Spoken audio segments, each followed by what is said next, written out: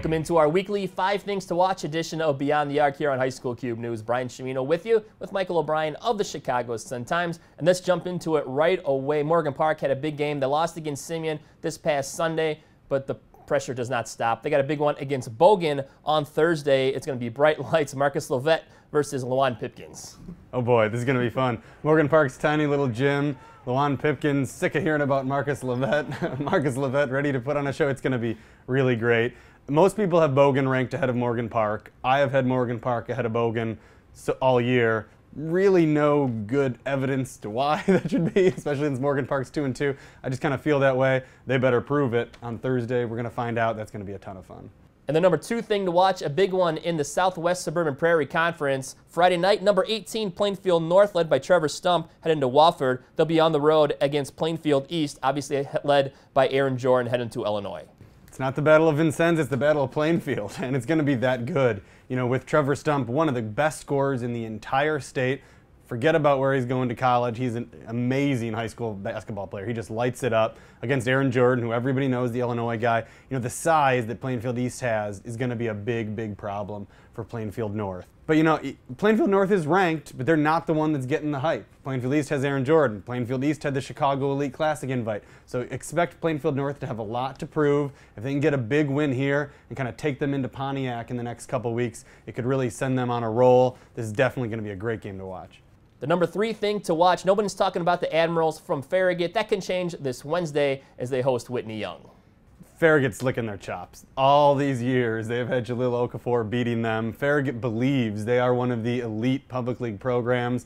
They cannot wait for Young to show up in their gym this week. It's going to be interesting. Joshua Adams is a really, really solid guard for Farragut. They're a good team overall. They have some nice wins, a couple losses, but they're not bad losses. They've only lost to good teams. For a young team that's still figuring itself out and can't hit free throws, this is going to be a really tough matchup.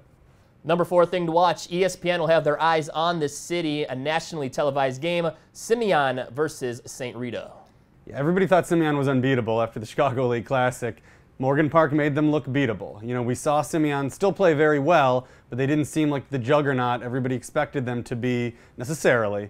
St. Rita, still kind of a mess. Miles Carter was out in the game they beat St. Joseph, but that was a nice win for St. Rita. Nobody's really jumped on the St. Rita bandwagon yet if they can make it a game with Simeon, keep it tight. It's going to be on ESPN2. Everybody's going to be watching. That it's going to go a long way for St. Rita. Charles Matthews needs to have his DJ Williams type performance. He needs to prove it. He needs to show out on the big, big stage on ESPN2. It's going to be a fun game to watch. And finally, your number five thing to watch holiday tournaments tipping off in the next week. Look up north at Jacobs. A lot going on on Saturday. I mean, why drive all the way up to Jacobs? We've got a lot of good reasons. If you look at the middle of the day on the Jacobs tournament, you've got Larkin against Prairie Ridge, where you can see Christian Negren, who's definitely worth it, and a Larkin team that's playing better than I think a lot of people thought. Right after that is Barrington against South Elgin.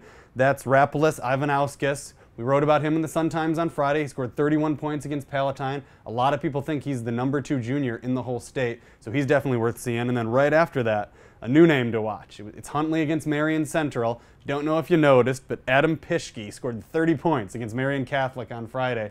I talked to some people about him. Apparently, he's a really exciting player to watch. So he's one. I'm going to go check that out. We can talk a little bit more about him next week.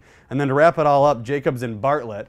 Jacobs has a lot of nice wins. They look like a solid team. And Bartlett just keeps beating people. They beat West Aurora, they beat Neuqua Valley. It's time to take notice of them. They, ha they have a loss to Glenbard East that isn't the best. That's why they're not in the rankings. But it's definitely time to stand up and take notice of Bartlett. So it's really four games in a row with something to watch. It should be a good afternoon on Saturday in Jacobs. And that is your weekly five things to watch here on High School Cube News. Check back next week. Mike and I will be back as we preview three big holiday tournaments. We're talking about Pontiac, Proviso West, and the McDipper. Also, subscribe to our YouTube channel. You can watch Beth Long on her weekly MVP segment. Talk with Aaron Jordan from Plainfield East, obviously heading to Illinois. For Michael O'Brien, I'm Brian Chimino. We'll see you next week.